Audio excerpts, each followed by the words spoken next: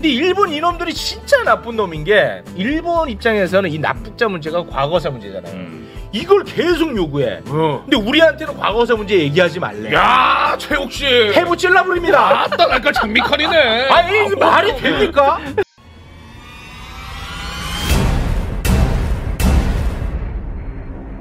윤석열 정부의 외교를 딱 한 글자로 표현하자면 바로 몰빵 외교입니다.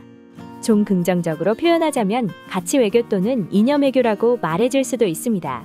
북한과 중국, 러시아를 적 또는 악의 세력으로 대하는 선악 이분법에 갇혀 있는 외교인 거죠.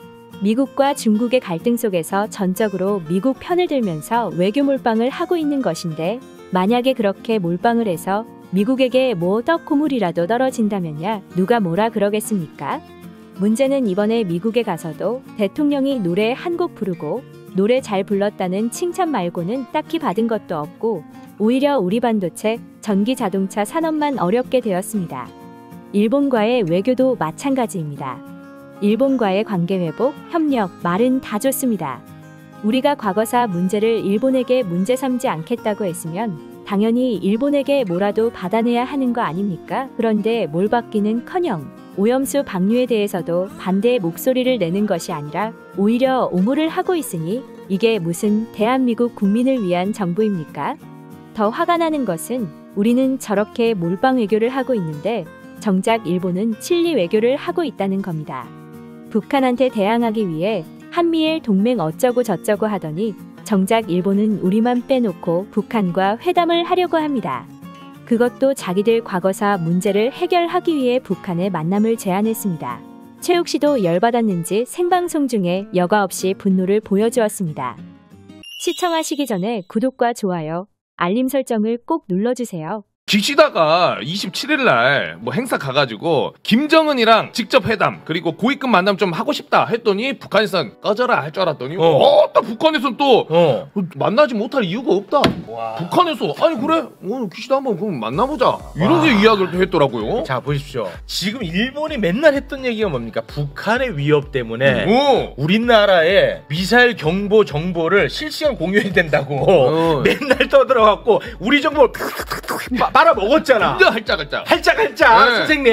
알죠. 아니 근데 지금 일본하고 북한은 지금 화해 무드로 가는 거 아니겠느냐. 음. 근데 또 정말 저는 뚜껑 열렸던 게 뭐냐면요. 일본하고 북한하고 음. 현안이 납북자 문제 아, 아니겠습니까? 있죠. 그러니까 음. 일본 사람을 북한이 납치해서. 납치해 갔다는 네. 거거든요. 근데 일본 이놈들이 진짜 나쁜 놈인 게 일본 입장에서는 이 납북자 문제가 과거사 문제잖아요. 음. 이걸 계속 요구해. 어. 근데 우리한테는 과거사 문제 얘기하지 말래. 야 최욱 씨. 해부 찔러버립니다. 아따 날까 장미칼이네. 아니 이게 말이 됩니까?